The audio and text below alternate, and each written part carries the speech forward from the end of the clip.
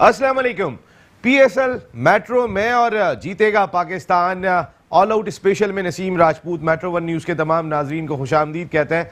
अब तो एक एक माहौल सा बना हुआ है कि पीएसएल पीएसएल पीएसएल लेकिन पीएसएल आई अगर आ, पाकिस्तान में कराची में तो किस धूम और धड़के के साथ आई ये आपने देख ही लिया होगा। आज जिस तरह चौकों और छक्कों की बारिश हुई है इस्लामाबाद यूनाइटेड ने लाहौर कलंदर्स के खिलाफ जिस तरीके की बैटिंग की है हालाँकि अगर वो जो डेंजर रोंकी रुक जाते तो क्या 300 रन स्कोर करती इस्लामाबाद यूनाइटेड की टीम? ये भी एक बड़ा सवाल दिखाई देता है। लेकिन कैमरून डेलपोर्ट, जो पिछले तीन सीज़न लाहौर कलंदर्स की जानब से खेले थे, ये पहला सीज़न उनके अगेंस्ट खेले और पाकिस्तान आते ही जिस तरीके की धुलाई उन्होंने की है, आज सेंचुरी स्कोर की कैमरून डेलपोर्ट ने। बड़ी तेज रफ्तार, बर्क रफ्तार सेंचुरी, उसके साथ आसिफ ने बर्क रफ्तार बैटिंग की और दो रन का बड़ा हदफ दिया इस्लामाबाद यूनाइटेड ने। लाहौर कलंदर्स को जिसके लिए दोनों मैचेस जीतना बहुत इंपॉर्टेंट थे। इस वक्त सूरत हाल ये कि लाहौर कलंदर्स की टीम जिसके लिए ये मैच डू और डाई की अहमियत रखता था इंतहाई मुश्किल से दो चार दिखाई दे रहे हैं।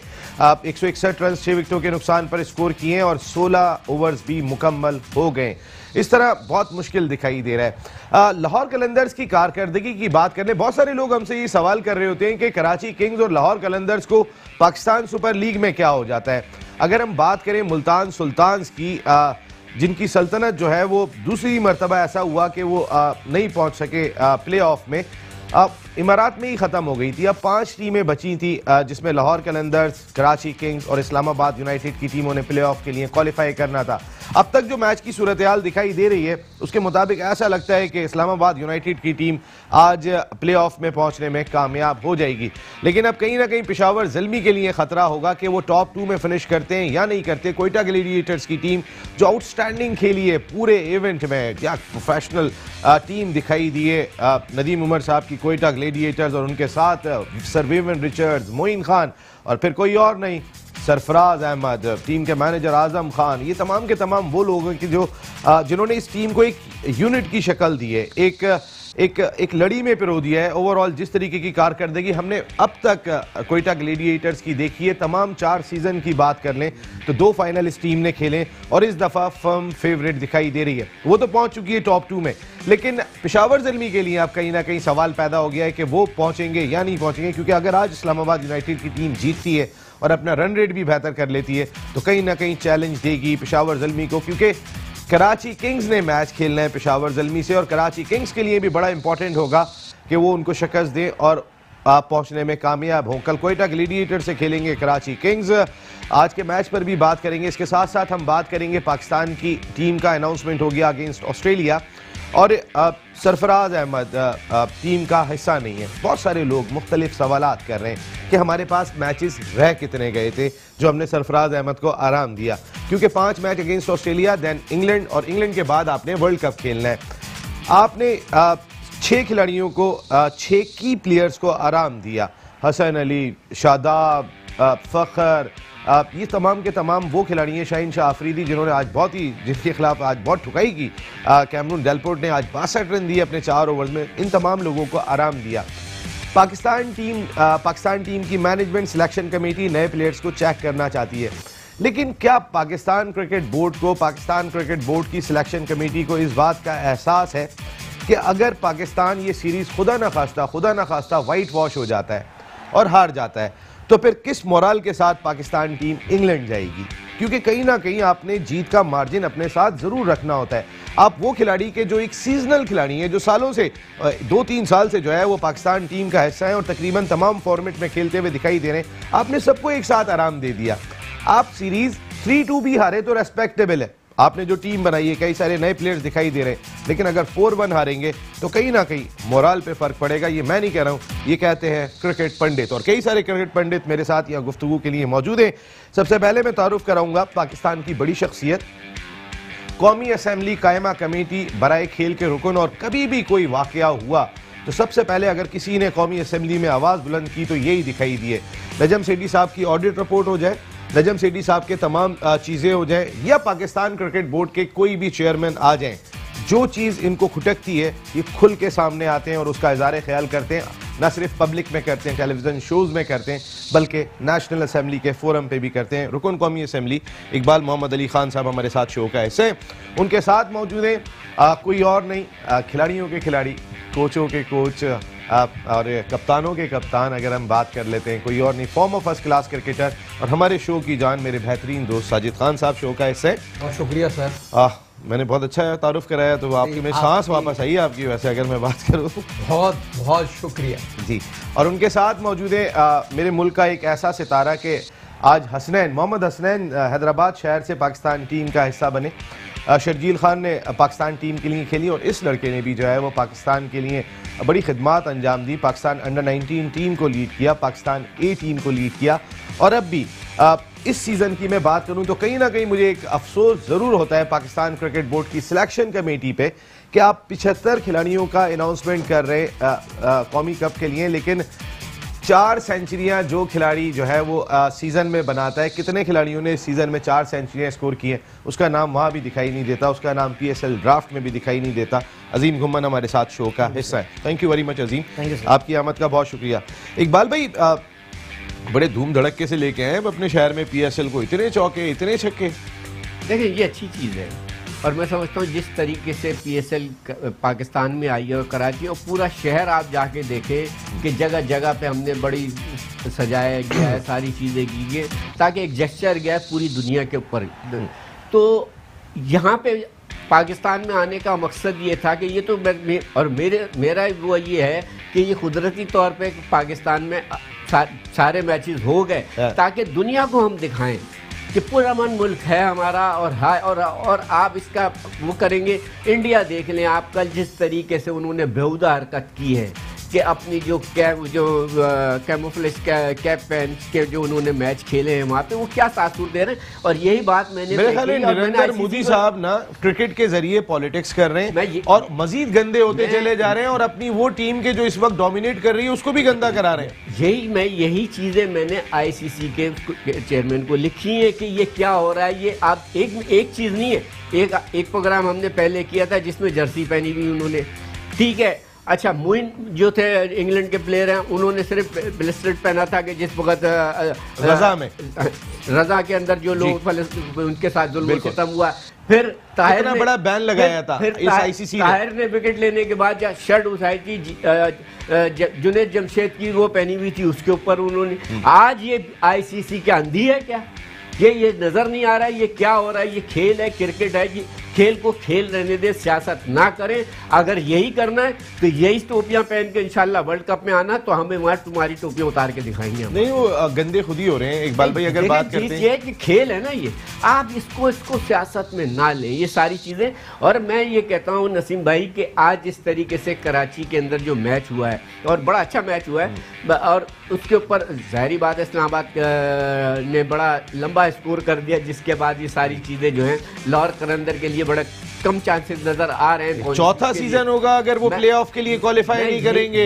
मैं यही कह रहा हूँ ना देखें लाहौर करंदर ने बड़ा नो डाउट इसमें के लोगों को वो किया मोटिवेट किया तो जगह जगह पे अपना प्लेयर डेवलपमेंट प्रोग्राम जो जो प्लेयरों को खिलाना चाहिए आज एक दो प्लेयर तो ऐसा खेले कि उनसे उनसे बॉलिंग जो है वो नहीं हो रही ऐसा लग रहा है कि क्लब का लड़का उससे लेकिन आज अगर उनके दो प्लेयर बड़े इंपॉर्टेंट थे इकबाल भाई साजिद खान साहब जैसे मोहम्मद हफीज अनफिट हो गए। आज जिस तरीके की पिच थी ग्राउंड भी थोड़ा सा छोटा ऐसा लगा कि या तो इतनी पिटाई हो रही थी।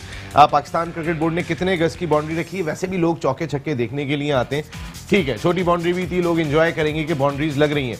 लेकिन ए बी डिविलियर्स और हफीज का ना होना अगर वो यहाँ पर होते तो इस पिच के ऊपर मेरा ख्याल बड़ा फाइटिंग आ, इतना बड़ा टारगेट नहीं था ये फाइटिंग टारगेट था।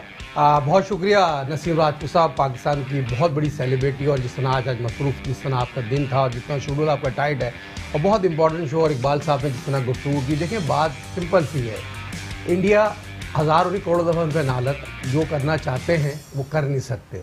जिसका कप्तान वज़ीर आज़म करोड़ दफ़ा। करोड़ों करोड़ दफ़ा। जिसका वज़ीर आज़म कप्तान पाकिस्तान क्रिकेट का नहीं दुनिया का बहुत बड़ा कप्तान और पहला पाकिस्तानी जो पूरा दुनिया का जो पहला वज़ीर आज़म। और अल्हम्दुलिल्लाह पाक फौज के army chief first class cricketer Pak फौज जिंदाबाद। पाकिस्तान क्रिकेट यकीनी तौर पर अगर हम यहाँ ज़िक्र ना करें चीज़ों का देखें बात होती है जज्बे से दिल से।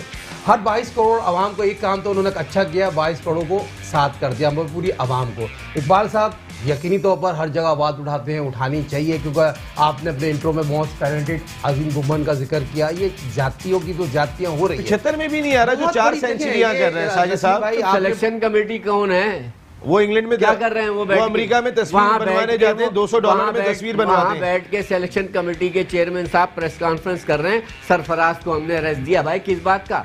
इंग्लैंड के इकबाल भाई मैं इस पे आता हूँ। ये टॉपिक अभी बनाएँगे हम। इस पे जरा डिस्कस जरा पीएसएल से निकलें। जी साहिब साहब आप बात देखिए नसीम भाई बहुत इंपॉर्टेंट बात जिस तरह आपने की। Pakistan Super League four edition जिस तरह लाहौर कलंदर की कारकर्दगी हमें अफसोस से कहना पड़ेगा उनकी कारकर्दगी उस उस तरह की नहीं क्यों? कराची और लाहौर के साथ ऐसा क्यों है? क्योंकि अगर मैं अली तरीन साहब को हटा दूँ बासठ अशारिया चार करोड़ रुपए की उन्होंने टीम खरीदी है। इससे पहले दुबई का एक ग्रुप था जिसने चौवन करोड़ रुपए की टीम खरीदी थी। अगर उनको हटा दें तो जो पहली पाँच टीमें थी उनमें कराची 26 करोड़ लाहौर 24 करोड़। महँगी तरीन टीमें थी। और यही दो टीमें ऊपर नहीं आती। इसका क्या रीजन लगता है मुल्तान सुल्तान हर के भी जीत गई। बहुत अच्छी बात देखा जाए मुल्तान सुल्तान की बात की सबसे महँगी टीम थी। इससे पहले शान ग्रुप ने ली पाँच मैच जीतने के बाद एकदम डाउन हो गए थे। तमाम चीज़ें यकीन शॉर्ट फॉर्मेट की क्रिकेट में चीज़ें होती हैं।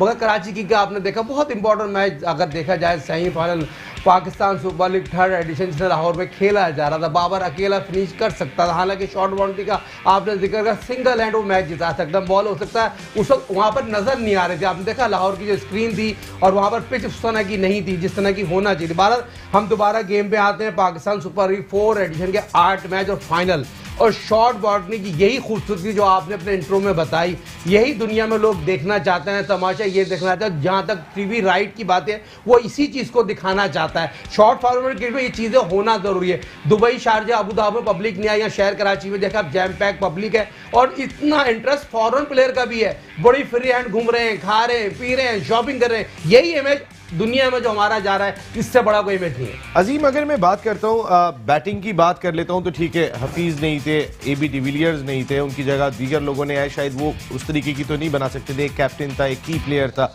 प्लेटिनम कैटेगरी से लिया गया था।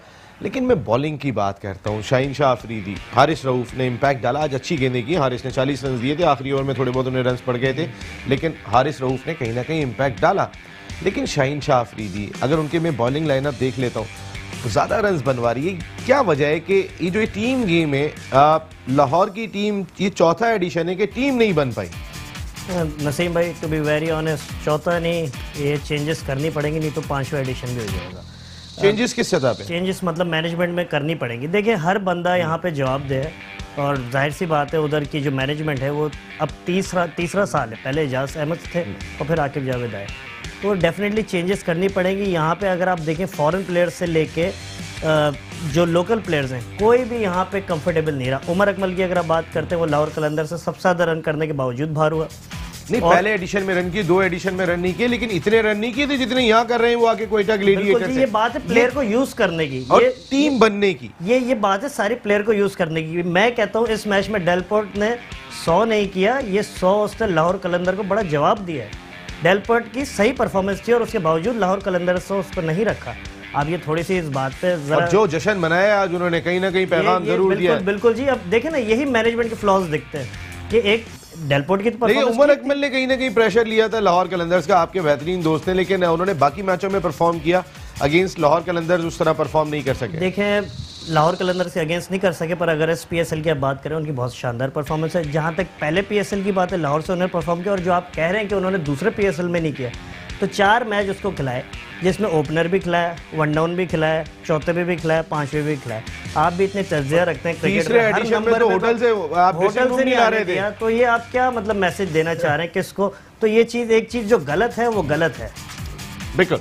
वाकई में इकबाल मोहम्मद अली खान साहब जो चीज़ गलत है वो तो गलत है और। गलत को तो गलत ही हमने कहना होगा। हालाँकि मैं बड़ा टाइम गुजरा था लाहौर कलंदर्स के साथ जब मैं पिछले चैनल में था। तो एक टाइम गुजरा था और मेहनत करते हैं ऐसा नहीं है। वो प्लेयर डेवलपमेंट प्रोग्राम में उनके ओनर्स जो है वो साथ साथ जा रहे होते हैं। लेकिन क्या ऐसा फैक्टर देख रहे हैं कि जो महँगी तरीन टीमें थी छब्बीस करोड़ चौबीस करोड़ की ये चौथा एडिशन है। कराची भी जो है वो इस वक्त एच पे दिखाई दे रहा है। ठीक है अब वो क्वालिफाई कर जाएगा आज लाहौर की शिकस्त के बाद। लेकिन उस तरीके की टीम बनी हुई दिखाई नहीं दे रही है। मिकी आर्थर जिसका हेड कोच हो जो पाकिस्तान का हेड कोच है वसीम अकरम की खदमात उन्होंने इस साल हासिल की हो। तो कहीं ना कहीं रिज़ल्ट तो मुख्तलिफ़ होना चाहिए। देखिए जहाँ तक मैं ये बात कर रहे हैं ना डुमन बात कर रहे हैं बात ये है कि सबसे बड़ी ज़िम्मेदारी होती है कोच के ऊपर। और यही कोच पाकिस्तान का कोच था। जब चार प्लेयर तीन प्लेयर फिट हुए थे। देखे उस वक्त भी मैंने बड़ी और बाकायदा स्टैंडिंग कमेटी की मीटिंग के ऊपर इन पे इशारे किए। कि ये सारी ज़िम्मेदारी आपकी, आप कैमरों से भाग रहे हैं, आप उनको बताएँ। अगर उन्होंने, लड़कों ने ये किया है, जुर्म किया तो आप कैमरे बात आगे वो हो जाएगी। बहरहाल, मसला ये है कि जो कोच है, वो क्या देख रहा है? और और ये नहीं है कि कोई नया कोच है। आप इतनी क्रिकेट खेले वो और इतना एक्सपीरियंस होने के बावजूद वो बॉलर वो हर जगह से वैसे धक्के खा के निकले थे भारत ऑस्ट्रेलिया हर जगह मैं यही तो मैं ये कह रहा हूँ कि कम अज कम उनको अंदर सबसे बड़ी चीज़ ये अगर शायद इनको वो हो तो एक अना का मसला भी है उनके साथ कि वो जो कर रहे हैं वो सही कर रहे हैं। मसला ये नहीं है। मसला ये कि इतना टीम को लेके और टीम की जो कम्बिनेशन है आप जब तक उसको सही नहीं करेंगे आप मुझे बताएँ कोयटा गिलेडियर्स के अंदर दो तीन प्लेयर बड़े का नाम के अलावा कोई तीसरा नाम मुझे बता दें। आप कोई फॉरेन प्लेयर भी हो लेकिन मगर इट्स अ टीम गेम और team game team game team बनी और हुई फिर सर विविन रिज़ल्ट बैठा हुआ होता है फिर मोइन खान बैठा नदीम उमर भाई का तीस साल तजुर्बा। फिर नदीम भाई को एक एक पूरी बैग दिखाई देती है उनकी। ये होती है सारी चीज़ें करने की। अगर आप ये समझे कि मैं सब चीज़ हूँ तो फिर सब चीज़ एक आदमी नहीं कर सकता पूरा टीम वर्क होता है ये। और जिस तरीके से नदीम उमर टीम को लेके चले, कोई भी नहीं सोचता था, यार ये वो। फिर विविन रिचर्ड आने के बाद, जब विविन रिचर्ड सर जैसा आदमी आप देखें जहाँ एक चौका पड़े जहाँ एक छक्का पड़े खुद खड़े होके हमारे कोचेज बैठे हुए हमारे बड़े बड़े नाम बैठे हुए वसीम वगैरह भी बैठे हुए कभी जाके चार दस प्लेयरों से हाथ मारते हैं कहीं। हाँ, विविन ये होती है ये सर का खताब ये सर है वाकई में सर होने ये ये उसके टीम ऐसे बनती है। ये ऐसे बनती है कि अपने पता चलता अपने है। लोगों को जो अपने प्लेयर है जो अपनी टीम है उनको बताया कि मैं सर नहीं हूँ मैं तुम्हारे जैसा तुम्हारे आप अभी आप नहीं बोल सकेंगे आप वैसे जैसे विविन रिचर्ड्स मारते हैं इकबाल भाई के हाथ मारे जरा। जैसे रिचर्ड उठ के मारते हैं जरा इकबाल भाई लगाइएगा। क्योंकि मुझे ब्रेक ले रहे हैं बोलेंगे नहीं। क्या मैं एक ब्रेक ले रहा हूँ? क्योंकि मुझे प्रोडक्शन टीम ने कहा फौरी तौर पर ब्रेक ले लें एक ब्रेक ले रहा हूँ वापस आते हैं अभी।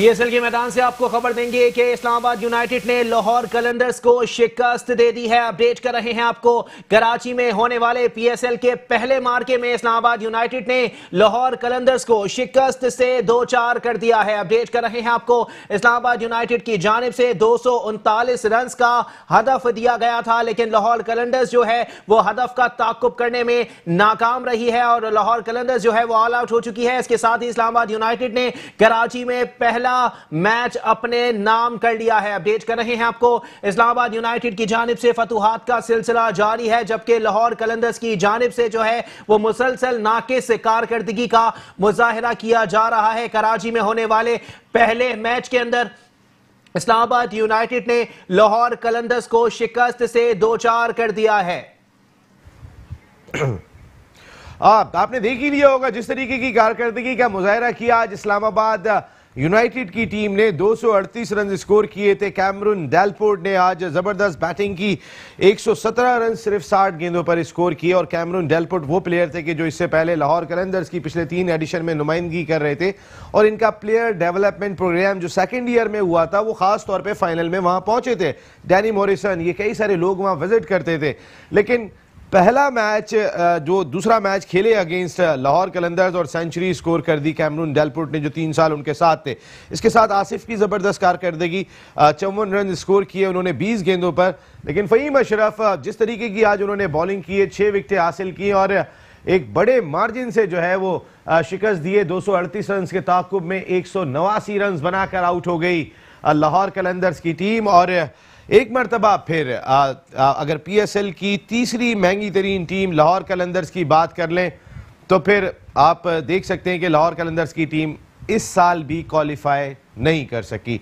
अब भी एक आउटसाइड चांस कहीं ना कहीं शायद मौजूद है कि कराची किंग्स अपने दोनों मैचेस हार जाए लेकिन कराची किंग्स जिनसे मैचेस खेल रही है अब लाहौर कलंदर्स के लिए दरवाजे बंद हो गए। एक मरतबा फिर दरवाजे बंद हो गए। फवाद रैना साहब या राना फैमिली जिस अंदाज से टीम के लिए एफर्ट करते हैं, कहीं ना कहीं उन्हें देखना होगा कि खामी कहाँ पर है। और उस खामी को किस तरीके से दूर किया जा सकता है, क्योंकि कराची किंग्स अब मैच खेलेगी कल Quetta Gladiators one of the firm favourite team के खिलाफ। लेकिन कराची किंग्स को जितनी सपोर्ट कल हासिल होगी यहाँ पर नेशनल स्टेडियम कराची में, उतनी ही सपोर्ट कोयटा ग्लेडिएटर्स को भी हासिल होगी। इसकी वजह यह है कि सरफराज अहमद तीनों फॉर्मेट के कैप्टन कराची के। नदीम उमर साहब कराची रीजनल क्रिकेट एसोसिएशन के प्रेसिडेंट हैं। इसके साथ साथ खुद चेयरमैन है जिनकी ये टीम है। आज़म खान, मोइन खान और अब तो ऐसा लगता है कि सर वेविन रिचर्ड्स पिछले साल जिस तरीके से नदीम उमर भाई के घर में घूम रहे थे कि वो भी कराची के तमाम के तमाम लोग जो है वो यहाँ पर पहुँचते हैं। तो एक टफ मैच खेलेगी कल कराची किंग्स की टीम अगेंस्ट कोयटा ग्लेडिएटर्स। इतना आसान मैच नहीं होगा क्योंकि फर्म फेवरेट दिखाई दे रहे हैं कोयटा ग्लेडिएटर्स। तो ये ब्रेकिंग न्यूज़ आपके लिए थी कि आज इस्लामाबाद यूनाइटेड की टीम ने वन साइडेड मुकाबले के बाद शिकस्त दी, लेकिन कराची के शायकीन जो तरसे हुए थे खेल के लिए आज लाइनों में कतारों में लग के स्टेडियम में पहुँचे थे और जैम पैक स्टेडियम दिखाई दिया था। जब शोर होता था तो कई किलोमीटर तक आवाज़ जाती थी जो पैगाम देती थी सारी दुनिया को कि हम कितने पुरअमन लोग हैं। हमने तो अमन का प्रचार उस वक्त भी कर दिया कि जब अभिनंदन को जाके हाथ पकड़ के वाघा बॉर्डर पे दे के आगे कि ये अपना सामान ले लो। तो हम तो इस तरह के अमन आ, के आ, अमन रखने वाले लोग हैं। लेकिन पता नहीं क्यों हमें टारगेट किया जाता है लेकिन हमारी आवाम ने हमारे सिक्योरिटी इदारों ने क्रिकेट बोर्ड ने कहीं ना कहीं आज सारी दुनिया को पैगाम दे दिया कि क्रिकेट इस इस कौम के खून में शामिल है। इसको इस, इतनी आसानी से ख़त्म नहीं किया जा सकता। सईद खान साहब आपके खून में भी शामिल है ना? हाँ बिल्कुल राठौर जिस प्यारा आपने तमाम चीज़ों कवर किया फईम अशर की छः सेकंड ओवरसीज प्लेयर है जिसने सेंचुरी बनाई बड़ी खुशाइन बात है। फोर एडिशन में ये पाकिस्तान की क्रिकेट की खूबसूरती है। पाकिस्तान सुपर लीग ब्रांड ऐसा है दुनिया में उसका इमेज बहुत पॉजिटिव जाता है। और ये तमाम उन कोचों की कामयाबी है जो टीम को मैन इस्लामाबाद की मैनेजमेंट को जाता है सईद अजमल को जाता है वकार को जाता है डिजान को जाता है। बहुत प्यारी मैनेजमेंट बहुत अच्छा रिज़ल्ट लाहौर की मैनेजर गांधी जी को फॉलो करने वाले आकिब जावेद ने टीम का बेड़ा कर दिया। हर शोबे में हर लिहाज से लड़कों को खिलाने की कोशिश की, नाकाम हो रहा है। अपनी नाकामी, अपनी इको की प्रॉब्लम से टीम ने सफ़र हासिल किया। राणा साहब नहायती शरीफ आदमी है। अफसोस से इसलिए करना पड़ता है क्रिकेट लवर है। वो चाहते हैं क्रिकेट को प्रमोट करना। बट जब कोच ग्राउंड में एक पेज पे ना हो इको प्रॉब्लम तो टीम तो सफ़र हासिल तो जावेद को कोच क्या विविन रिचर्ड ने लगवाया। विव रिचर्ड का और आकिब का क्या बात करती इस तरह आपने क्या नहीं नहीं मैं कह रहा हूँ कोच किसने लगाया? आप बात ये कर रहे हैं कि वो इतने शरीफ है वो फलाना बिल्कुल होंगे। शरीफ में इसमें बात नहीं कर रहा। मैं बात ये कर रहा हूँ कि कोच लगाने वाले कोई अपना कराची किंग्स के ऑनर है या इस्लामाबाद यूनाइटेड के ऑनर है जिन्होंने कोच लगाया नसीम भाई देखिए जो अपनी गलती है जो अपनी गलती है उसको एडमिट करना चाहिए। अपनी गलतियाँ उनकी अपनी गलतियाँ मेरे ख्याल में पाकिस्तान सुपर लीग में जितना बड़ा प्लान जितने बड़े कोच पूरे पंजाब में टूर्नामेंट दुबई शारजा जितना वो काम करते हैं। मगर चौथा एडिशन है पाकिस्तान सुपर लीग। लाहौर करंदर कारकर्दी सवाले सवाले। पहले, पहले दो से अगर मैं आपसे बात करूँ तो पहले दो जो हुए थे एडिशन उसके अंदर तो कोच नहीं थे आकिब जावेद उसमें तो रिचर्ड पाइबस कोच थे। तो बात ये होती है टीम की कारकर्दी भी तो आप देख लें नब्बे रन चाहिए आखिरी ओवर कौन कर रहा है? दुनिया का बेहतरीन ऑफ़ स्पिनर वेस्ट इंडीज का। और जहाँ बॉल इतना इतना ब्रेक हो रहा है लाहौर में वो बॉल उसको नहीं दी किससे बॉल करा दी? क्या बात क्रिकेट बहुत पॉजिटिव है। पॉजिटिव जाना है Pakistan Super League four edition बहुत अच्छा हो रहा है। पाकिस्तान जिंदाबाद ज़्यादा नहीं जाइएगा। अजीम मैं बात करता हूँ ओवरऑल जिस तरीके के बात कर रहे हैं हम कि कहाँ कमी लगती है? आपने माशाल्लाह बड़ी क्रिकेट खेली है। उमर अकमल आपके बड़े अच्छे दोस्त हैं, जो पिछले तीन एडिशन में जो है वो लाहौर कलंदर्स का हिस्सा थे, आपकी डिस्कशन भी होती होगी। तो कहाँ पे फॉल्ट लगता है कि आज वो मुसलसल चौथा एडिशन है प्ले ऑफ़ में नहीं जा सके? देखें, नसीम जैसे आपने बोला कि वो पूरे साल काम बहुत करते हैं। मेरे हिसाब से पूरे साल वो जो काम करते हैं, उसका रिवॉर्ड उन्हें मिलता है। वो किस सूरत में मिलता है कि पिछले साल उन्होंने काम किया तो कश्मीर से लड़का मिला जी इरशाद सलमान और और इमर्जिंग पे काम करते हैं। हम्म। अगर आप देखें रिमोट एरियाज़ और ग्रास रूट पे काम करते हैं। इस साल उन्होंने काम किया दे गॉट हारिस रऊफ तो जिस एरिया में वो काम करते हैं उसका रिवॉर्ड उन्हें मिलता है। पर अनफॉर्चुनेटली बकाए उन्नीस लड़के जो रखे जाते हैं वो पता नहीं मुझे नहीं समझ आती किस किस्म की मुशावरत से रखे जाते हैं क्योंकि उसमें डोमेस्टिक के परफॉर्मेंस बहुत ही कम हम्म। दिखते हैं। अगर आप देखें तो। और आगे से ओवरसीज़ प्लान जो प्लेयर्स वो लाते हैं वो प्लान से हट के दिखते हैं। अगर आप दूसरी फ्रेंचाइजों को देखें उन्होंने हर किस्म के ओवरसीज़ प्लेयर रखे हुए होते हैं। एक तो इन लोगों के ओवरसीज़ प्लेयर ज़्यादातर ऐसे होते हैं, मैं तीन मैच यहाँ खेलूँगा, चार वहाँ खेलूँगा। ये भी बड़ा एक प्रॉब्लम है। इस तरह टीम कॉम्बिनेशन नहीं बनता जहाँ से सफ़र होते हैं।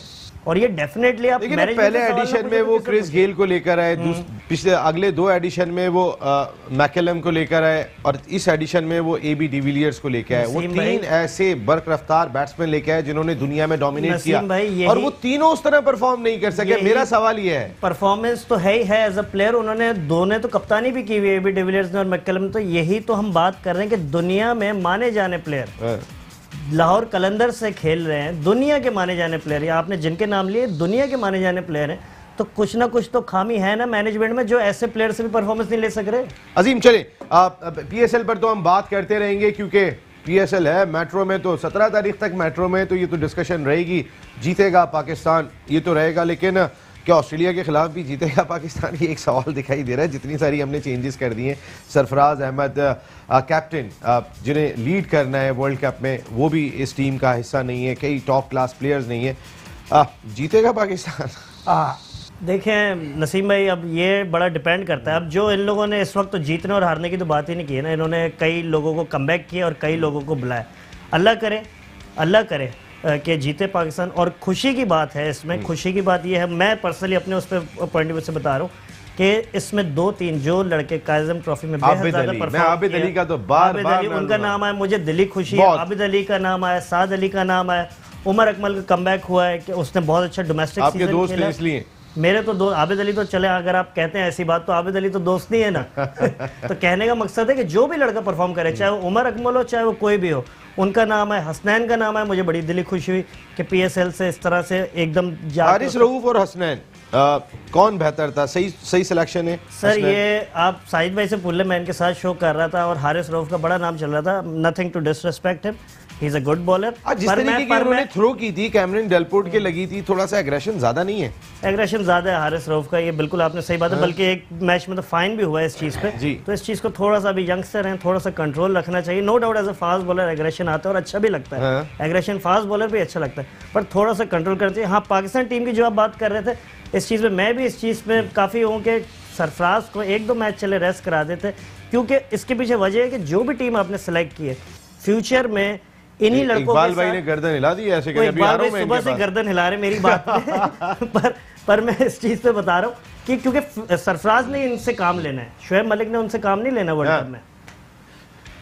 जी आप गर्दन क्यों हिलाई थी जरा बता दें आप मैंने ये वुमन की बात के ऊपर गर्दन यूँ हिलाई थी पाकिस्तान की तारीख से लेके मुझे आज तक बता दे कोई सीरीज़ हो रही हो इस तरीके से और फिर बीच में वर्ल्ड कप भी आ रहा हो फिर आप आप इंग्लैंड ले लें अभी Australia West Indies England West Indies का मैच चल रहा है तमाम चीज़ ये सीरीज़ खेलते चले ये क्यों?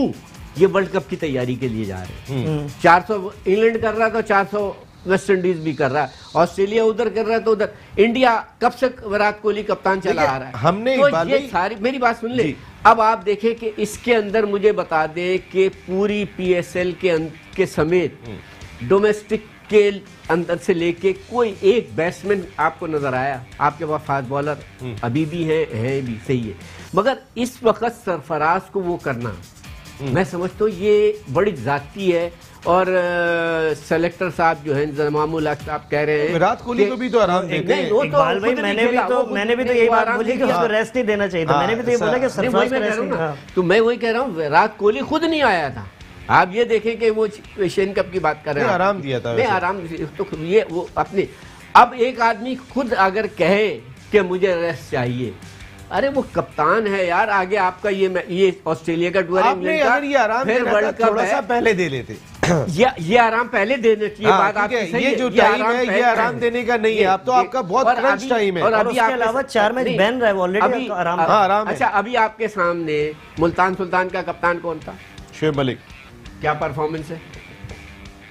हम्म, नहीं बताए ना। नहीं है। कैप्टेंसी में बता दे क्या परफॉर्मेंस है कहाँ किसको वो और फिर क्या शुएब मलिक इंपॉर्टेंट प्लेयर नहीं है? है आप ये बताएँ वर्ल्ड कप में। और और खुदा न खाता उसको कोई इंजरी हो गई। शोएब मलिक शोएब मलिक मलिक बहुत इंपॉर्टेंट प्लेयर है वर्ल्ड कप के लिए आपके लिए। हम्म। आपको इस चीज़ को देखना चाहिए कि आप उन लड़कों को रेस्ट दे रहे हैं। अब शाहिन आफरीदी को आपने रेस्ट दे दिया। अभी वो बॉलर आज वो चौसठ रन पड़ गया मैं ये समझता हूँ एक तो ग्राउंड की भी थोड़ी सी वो है हम्म। क्योंकि आपकी सारी चीज़ें नज़र आ रही है कि कि ये चीज़ें पहले से आपको तय अब एन वक्त पे आपका पीएसएल खत्म हो रहा है ऑस्ट्रेलिया सीरीज़ शुरू होने वाली है इंग्लैंड की। आप कह रहे हैं कि जी हम रेस्ट दे रहे हैं। तो ये मैं- मैं- मैं- मैं तो ये बात इस कह रहा था। बात को बड़ा सोचना चाहिए इस बात को बोर्ड को भी देखना चाहिए कि आखिर क्यों वजूहत की बिना पे लड़कों को बिठाया जा रहा है। यही लड़के। अब आप देखें इस पीएसएल के ऊपर उमर अकमल जिसको जिससे हम तवक्को हमेशा से लगा के बैठे उससे अच्छा प्लेयर नहीं है ये मैं आज कह रहा हूँ आपको और और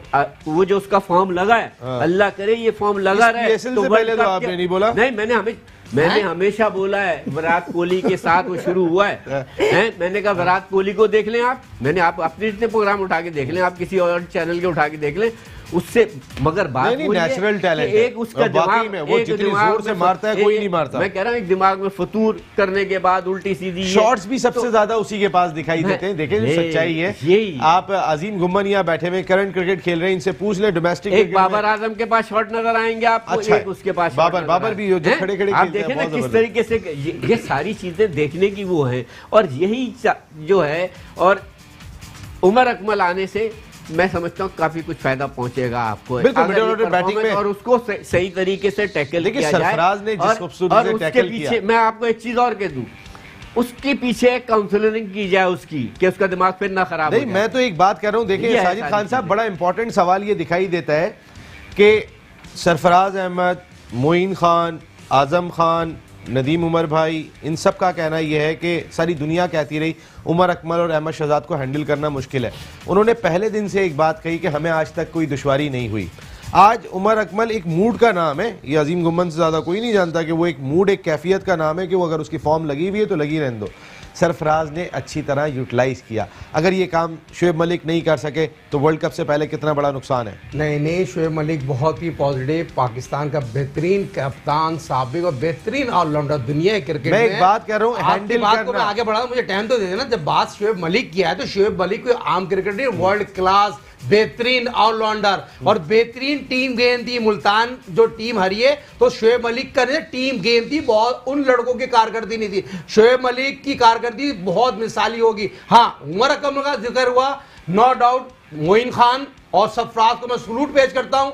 वो है दे- दे- सही माने उस लोगों ने बहुत अच्छा उसको हैंडल किया और वाकई में वो ऐसा लड़का इतना पक्का पाकिस्तानी है और यकीनी मान हंड्रेड वर्ड परसेंट उसकी फिटनेस देखें। आज को मैंने ट्रेनिंग करते हुए नेशनल स्टेडियम कराची में देखा क्या उसकी फिटनेस थी क्या वो स्प्रिंटे लगा रहा था सफराज के साथ?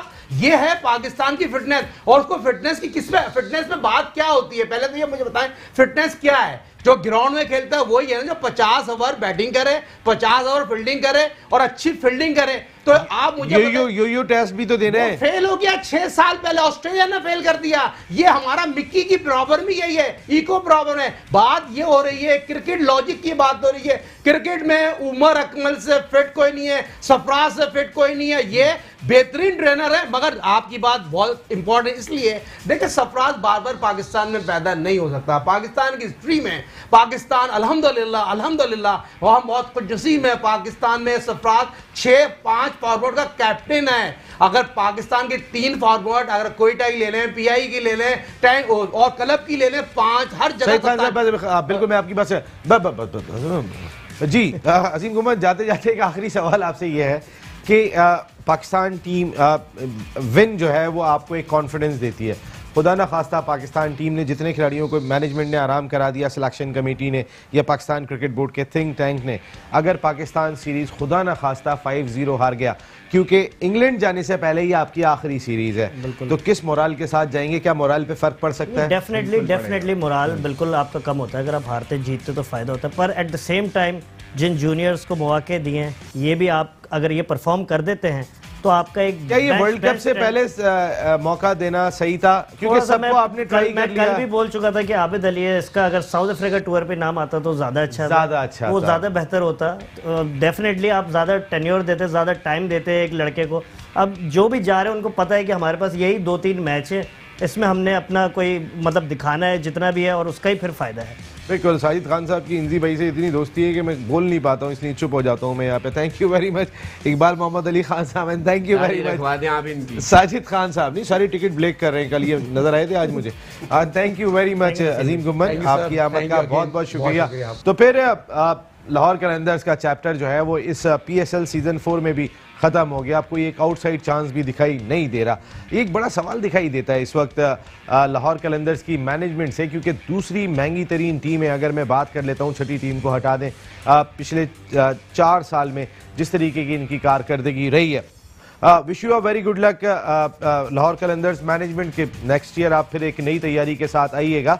लेकिन आज जो एक कल यानी कि एक इंपॉर्टेंट मैच खेला जाएगा Quetta Gladiators versus Karachi Kings. Karachi Kings के लिए भी एक फतह ज़रूर दरकार है दो मैचों में। लेकिन कल इस इवेंट की सबसे तगड़ी और डेवलप टीम के साथ खेल रहे हैं कि जो इस वक्त प्रॉपर तौर पे डेवलप हुई हुई है, इतना आसान नहीं होगा। कराची किंग्स के लिए। इसके साथ साथ इकबाल मोहम्मद अली खान साहब, साजिद खान साहब, अजीम घुमन ने जो इम्पोर्टेंट डिस्कशन की अबाउट जो आराम कराया है पाकिस्तान की सिलेक्शन कमेटी ने, वो भी आपने सुन ली होगी। कहीं ना कहीं सवाल बहुत सारे दिखाई दे रहे हैं कि अगर खुदा न खास्ता, खुदा न खास्ता हम ये सीरीज़ बुरी तरह हार गए तो किस मोराल के साथ जाएँगे वर्ल्ड कप खेलने इंग्लैंड क्योंकि इस दरमियान में कोई और सीरीज़ नहीं है। अब नहीं, साजिद खान साहब, मैं इजाज़त ले रहा हूँ। And thank you very much आप तमाम लोगों का। हमारा प्रोग्राम अगर पसंद आया हो तो फिर आप फीडबैक दे सकते हैं। हमारे ईमेल एड्रेस पर नसीम राजपूत अपनी पूरी प्रोडक्शन टीम के साथ चाहता है इजाज़त। अल्लाह ने के बाद